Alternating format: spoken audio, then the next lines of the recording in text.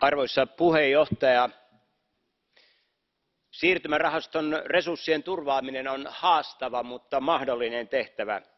rajallisen uuden rahan ohella tähän tarkoitukseen on todellakin kyettävä käyttämään myös olemassa olevia rahoitusinstrumentteja kuten eiptä ja invest europea niiden rahoja.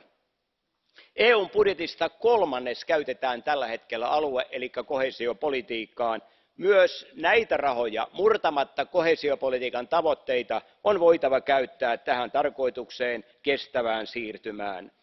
rahaston resurssit tulee kohdentaa ensi sijassa niille alueille joille hiilestä miksei turpeestakin luopuminen tuottaa eniten aineellisia ja sosiaalisia ongelmia. rahastosta tulisi rahoittaa myös teollisten prosessien uudistamista vähähiilisiksi ja ilmaston kannalta kestäviksi prosesseiksi. tätä edellyttää myös meidän eurooppalaisen teollisuuden hiilivuodon estäminen.